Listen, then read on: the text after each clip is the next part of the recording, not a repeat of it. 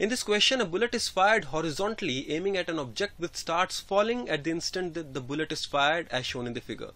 The position A is taken as origin and the bullet speed 10 meter per second. If the bullet hits the object 1 second after, then the coordinates of the point where it hits is. Dear students, in this case the object would start falling vertically downward and bullet will take a parabolic trajectory and then hit the particle. Now dear students, in this case the vertical initial velocity is 0 and it is given that the collision takes place 1 second after the projection then this distance can be calculated as the distance traveled in 1 second in free fall which will be equal to half into g into t square where t is 1 this will be equal to 5 meters. Now dear students, to find out this particular distance, we must acknowledge that the horizontal acceleration of the bullet would be 0 and the horizontal distance traveled by the bullet will be simply its speed multiplied by the time that is 1 second. Here the speed is given as 10 so if this is x then x will be equal to 10 into 1 that is 10 meters and hence the coordinates of this point will be 10 comma minus 5 meaning that for this question the correct answer is option number 2. Now let us proceed to the question number 42. Question 42 says that length and breadth of a rectangular sheet are given as these two quantities that is 9 plus minus 0.3 centimeter and 4 plus minus 0.1 centimeter respectively then the square root of area of the sheet up to the correct significant figure will be. Dear students, the area of the sheet will be length into breadth. Let there be another quantity z which will be root of area that is root LB. The true value of Z will be under root of 9 into 4 that will be 6 centimeters. Now dear students from the rules of fractional error delta Z by Z will be half into delta L by L plus delta B by B which means that delta Z will be equal to Z by 2 delta L by L plus delta b by b. Substituting the values, delta z will be equal to 6 by 2, delta L is 0.3, so 0.3 by 9 and delta B is 0.1, so 0.1 by 4. This turns out to be equal to 0.175 and that can be rounded off to 0.2 and therefore dear students the correct answer for this question is 6 plus minus 0.2 centimeters and hence for this question the correct answer is option number 3. Now let us move to the question number 43. Question 43 says the displacement time graph of a particle moving on the x-axis is shown in the figure. Choose the correct option among the following. The students among the given options the correct answer is option number 4 because both 1 and 3 are correct the first statement says that the particle speeds up and slows down two times.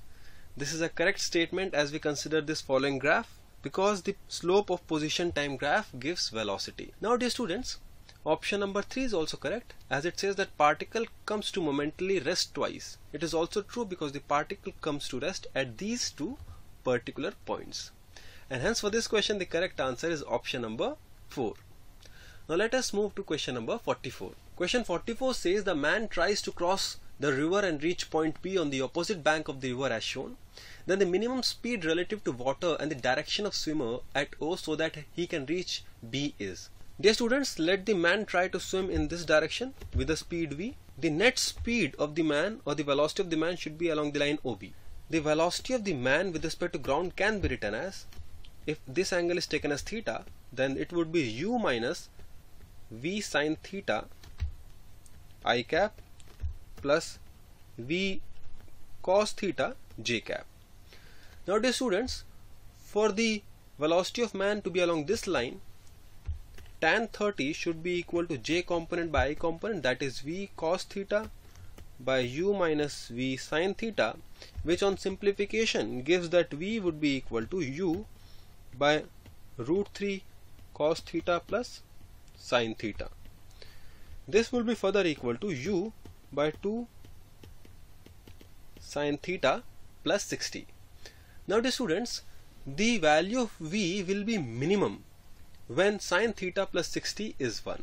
So therefore the minimum value of v will be equal to u by 2 and for sine theta plus 60 to be equal to 1 theta should be equal to 30 degree as sine 90 is 1 and theta plus 60 is 90 so theta will be 30 degrees.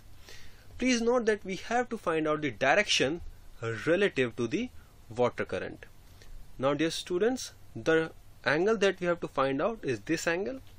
So the angle would be equal to phi that is 90 plus 30 that will be equal to 120 degree and hence for this question the correct answer should be option number 1. Now let us solve the question number 45. The student's question 45 says if water drops are falling at regular intervals from a ceiling at a height 80 meter from the floor, if drops are falling at the intervals of 1 second then the height of third drop from the floor when the first drop reaches the floor is. Dear students, the first drop reaches the floor in time which can be calculated as t is equal to under root 2h by g where h is the height of the ceiling so this will be 2 into 80 by 10 and hence this will be equal to 4 seconds. Now dear student the third drop would have traveled a total time of 2 seconds when the first drop would have reached the ground. Because after 2 seconds only the third drop would be released. And hence the distance traveled by the third drop would be half into g into t square where t is 2 so that will be half into 10 into 2 square and dear student this will be equal to 20 meters the height from the ground can be written as 80 minus 20 that will be 60 meters and therefore for this question the correct answer is option number 1 dear student this concludes the discussion on the quick solutions of the final test series First test code B. I hope you understood all the questions. I wish you all the very best for your upcoming examinations and all the future endeavors. I thank you all for watching and God bless you all.